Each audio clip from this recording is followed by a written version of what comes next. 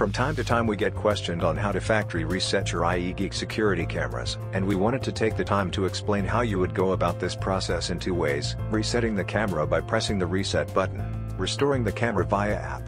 So when would you need to do this?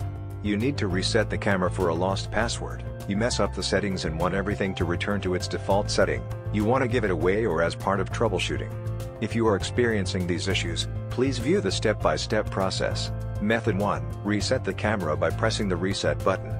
Take battery cameras as the first example. Follow the two quick steps. Power on the camera, and locate the reset button of the device.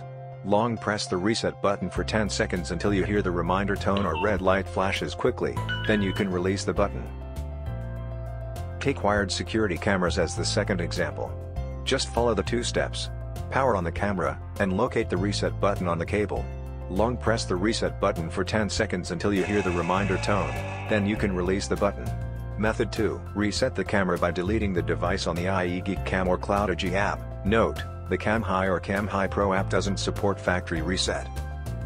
Press and hold the corresponding device in the My Devices list, the delete window will pop up, click OK to delete the device. That's all for how to factory reset ieGeek security cameras. Remember to subscribe and turn on the notification bell to see more new products and updates. Tell us what videos to do next in the comments below.